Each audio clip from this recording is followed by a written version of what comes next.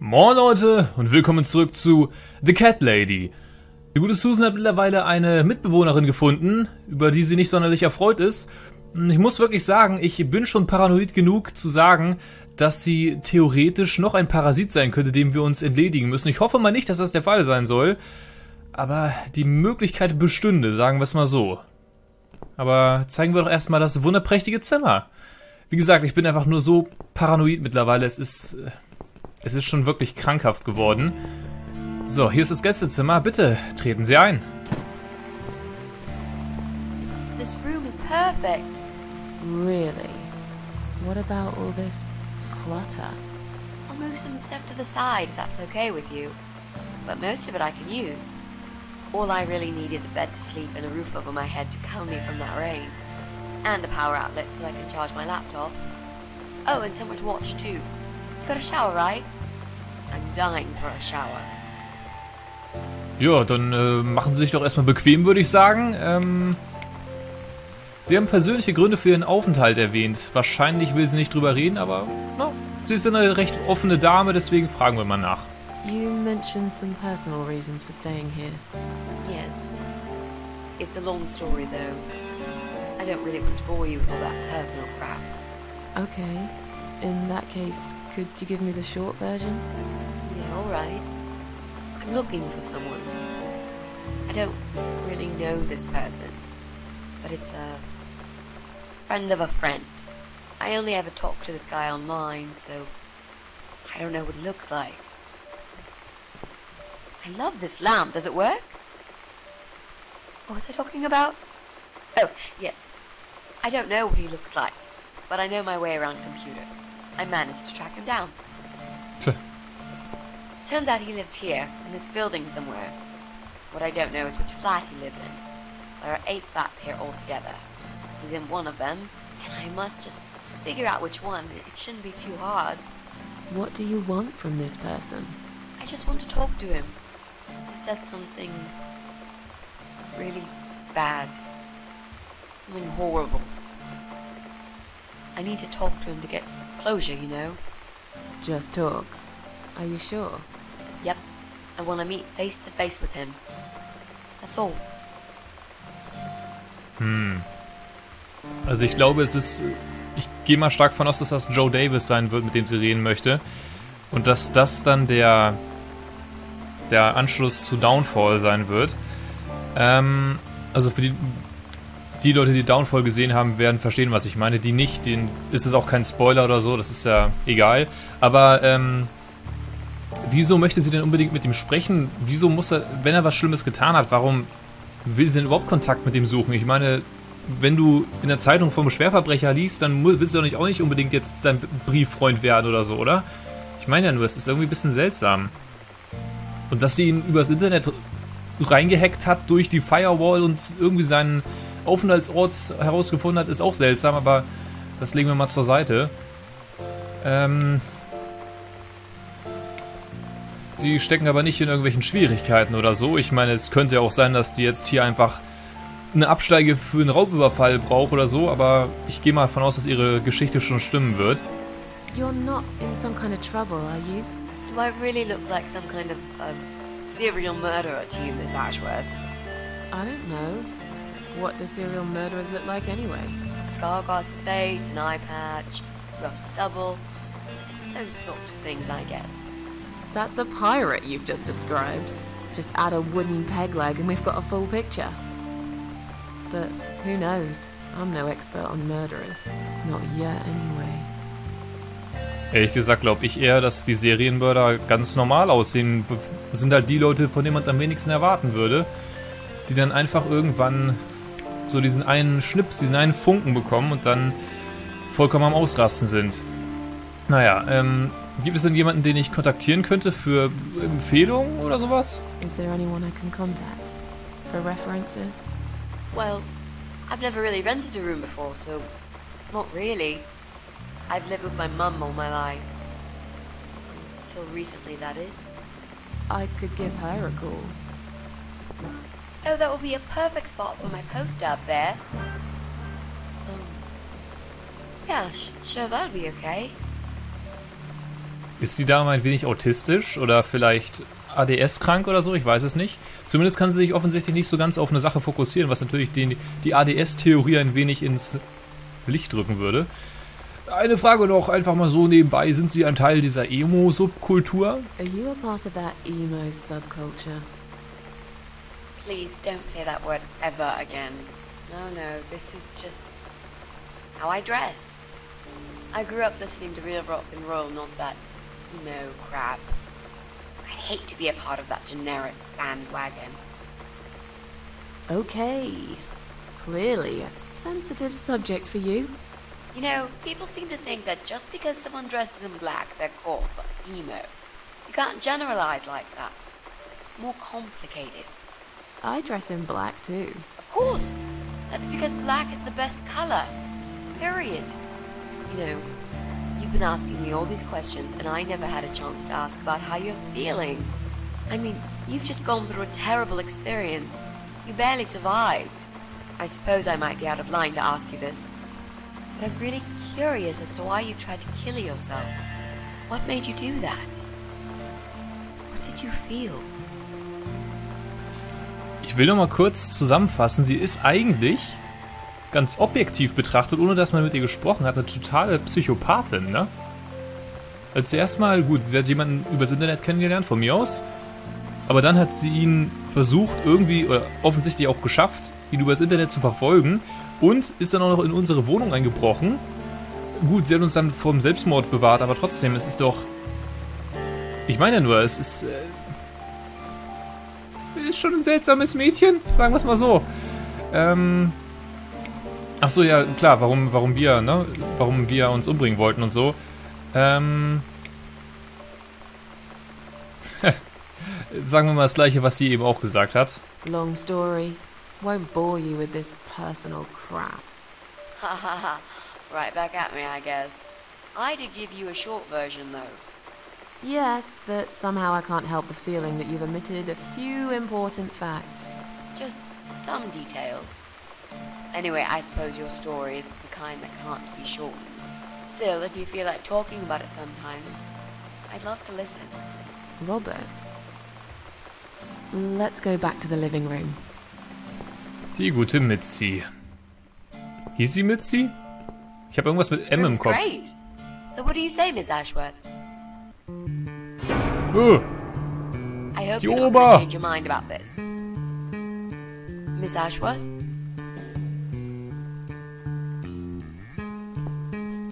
Alter! Was ist denn ihr scheiß Problem? Die Oma soll zu Hause bleiben. Die soll Kekse backen. What happened? Are, are you alright? Oder Madenkekse, ich weiß es nicht. Was macht so eine Madenkönigin den ganzen Tag? Go away! You have to go away right now. But why? Miss Ashworth, what's wrong? Ich glaube, es wäre wirklich das Beste für sie, wenn sie jetzt gehen sollte. Ähm, You're not safe here. You should leave. Now. Please, Miss Ashworth, I'd really like to stay. Don't throw me out now. Well, you can't stay. You can't. If you don't go, something terrible's gonna happen to you. Please, just leave me alone. I was perfectly happy before you came. I have my cats. I have. I. Just stay away from me. What? Are you deaf? Did I not make myself clear? This is not a good place for you. Where am I gonna go? It's late and, and it's pouring down with rain. I'm very busy.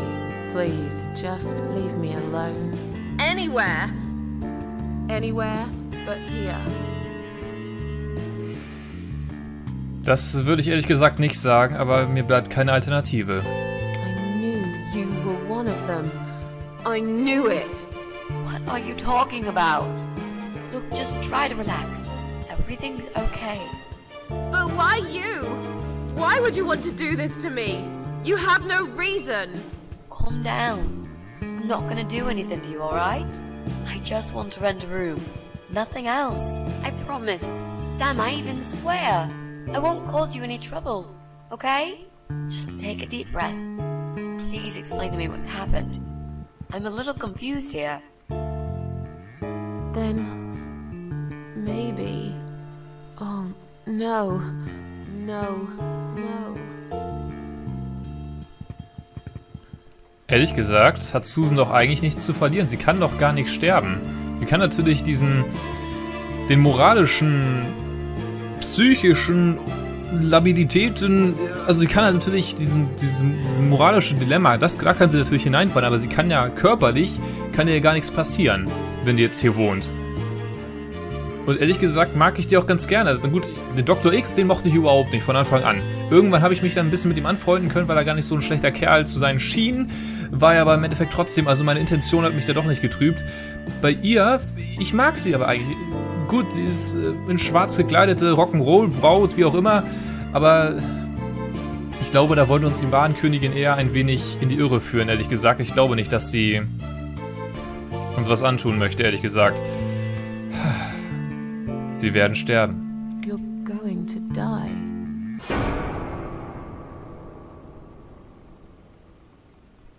I know. Yeah. I know.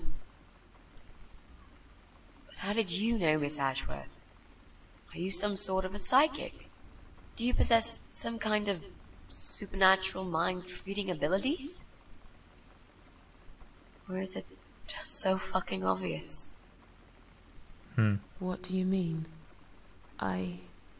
I don't know how you're going to die, but call it a hunch if you like. That's cool. A hunch. Well, I do. I know exactly. It's already started, as a matter of fact.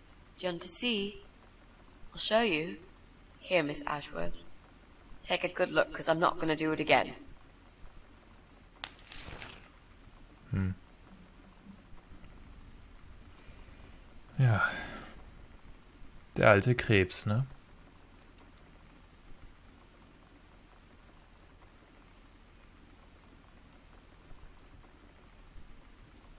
Ja. Ach so. Hä? Ähm. Das ist doch Susan da auf dem Tisch. Oder? Und wer ist der Typ mit der Gasmaske?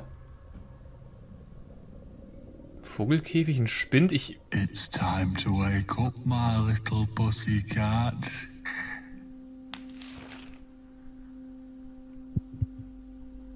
The matter, sleepyhead? Had a bad dream? Uh, do you want me to give you a cuddle and a kiss? Take the nightmares away? What's the matter? Cat got your tongue? well, don't you worry, my sweetest. I know a thing or two about pussycats. I can help. What do you say? Shall I take a good look at this pussy of yours? Nee, danke. Hatte ich heute schon zum Frühstück. Äh. You're a dead man. You just don't know it yet. I'll cut your throat open and watch you bleed to death. I'll feed your body to the crows. Oh, you're gonna regret this, pal.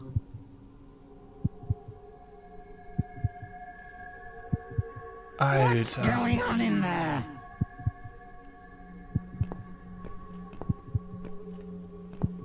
Silent Hill? Who's this? Did you play with this little bitch behind my back?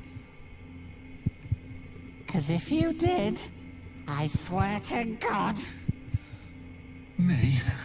I'd never do that. You know me, honey. You're the only girl for me.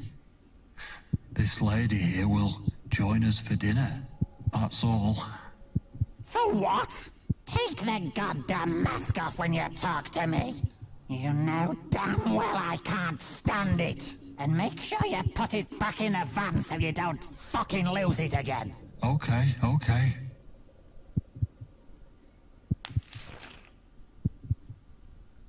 Das ist der Kammerjäger. I was just saying, uh, she, she's here for dinner. Good. Dinner.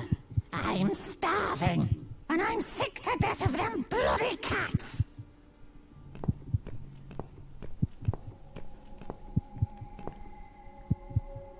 you nasty little whore. Trying to seduce my husband in my own home? How bloody rude. Ich muss dem Spiel wirklich lassen, es ist so verdammt verwirrend und schwer zu entschlüsseln. Den Kammerjäger haben wir ja schon beim letzten Mal gesehen. Was beim letzten Mal? Beim Vor ich glaube, beim letzten Mal war das. Und ähm, der hat irgendeine Leiche in ein Haus gebracht. Höchstwahrscheinlich waren wir das. Und jetzt sind wir in diesem Haus festgekettet. Und diese Frau ist ihre, ist die Frau und, also die Ehefrau und hat hier viele blutige Späße mit Marmelade offensichtlich veranstaltet. Who the fuck are you? Shut up, you stupid bitch! I know what you're up to. You kept staring at him with these big green eyes. You want him, don't you? You think you can take him from me? Well, I've got just the thing. I always keep this bottle handy. It's bleach, the strongest you can get. You give me no choice. I can't risk losing him. I have to make sure he won't be attracted to you anymore. You won't need these eyes and this face much longer anyway.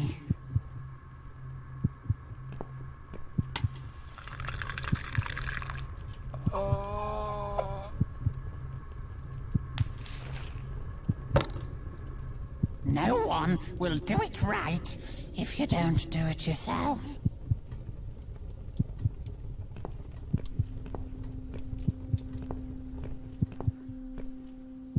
Aber wie sind wir hierher gekommen?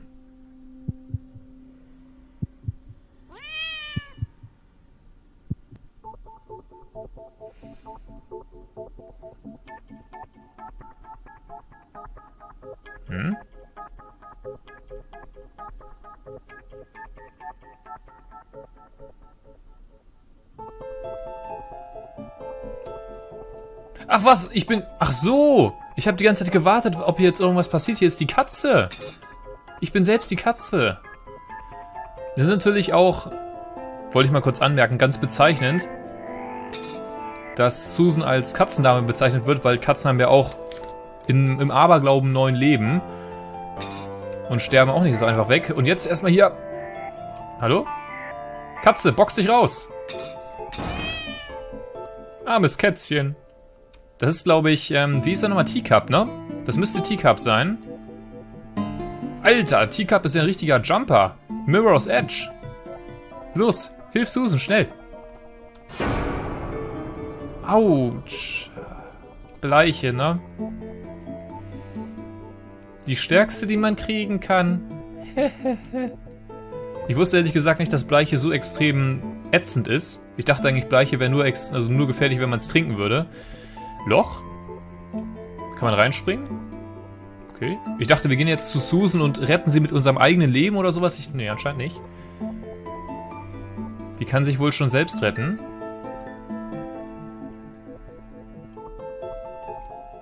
Hm? Der Teacup ist schon schöner, ne? Schwarz wie die Nacht. Hey there. Gorgeous. I see my old lady brought the bleach. Again. What a shame. I really liked your eyes. It could have been a start of something uh, very exciting for us, if you know what I mean. She does that every single time. What do they call it? Verrückt? Wahnsinnig? issues. That's it. Wahrscheinlich. Well, never mind.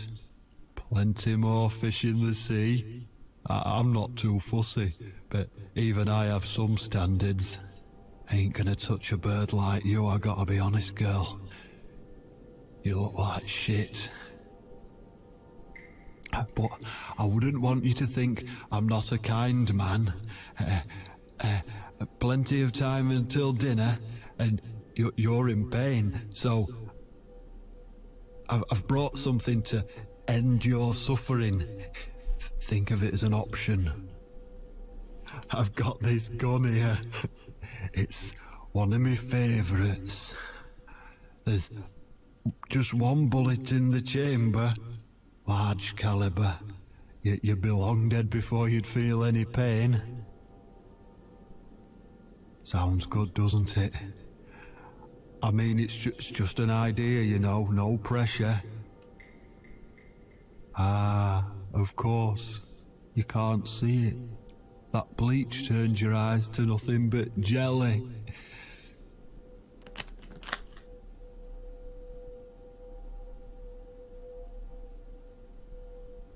So I'll just leave it for you here. Feel free to use it. That that bullet's meant for you anyway. I'd better go now. We won't want to get caught red-handed again, would we? You naughty minx. Was ein herzensguter Mann. Was ein herzensguter Mann, habe ich gesagt. Nee. Well, what did you expect? Life's a real fucker sometimes.